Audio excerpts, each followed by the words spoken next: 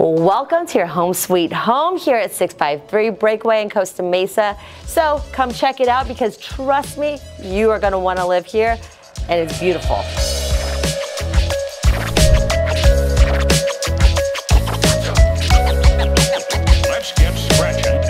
This is what you get when you hire me. So originally there was this huge pendant light right here.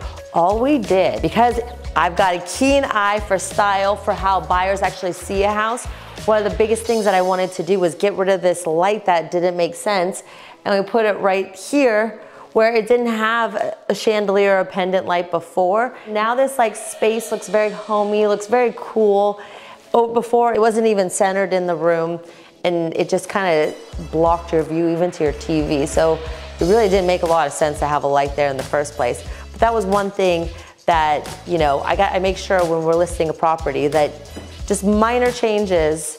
So another thing that most realtors would probably say is maybe if the carpets look dirty, let's just clean them, make sure that they're clean so that way when people come through, they're a lot cleaner, they look nice in photos. Eh, that's not what I do. I wanna make sure that your house pops and stands out above everyone else's. This was a very minimal cost, but I'm telling you, this went a long way. Studio McGee uses this, it's very trendy, and it's just gorgeous. Like I'm obsessed with this. So another thing that I like to do is make sure that a room is really bright in photos. This room was super dark. As you can probably see that the paint color is really dark.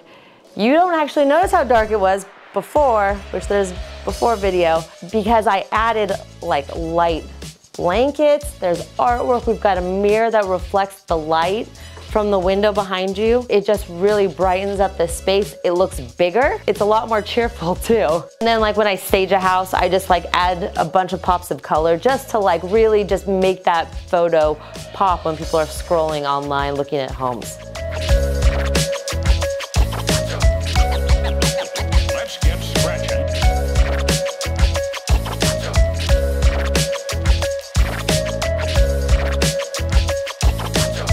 I started staging this room, I was really, this wall used to be green. So then I was like trying to work with the green and it just wasn't really a very nice color green. And so decided you gotta paint it. So I painted it and then now this room looks much bigger. I really like it. It's a lot more airy and it's, it's beautiful.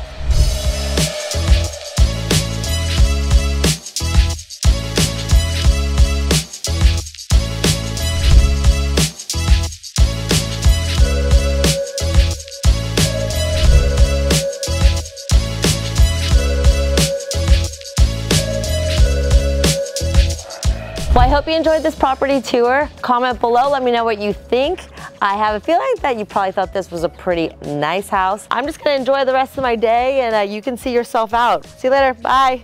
Okay, go. I'm gonna just be, you'll find me here.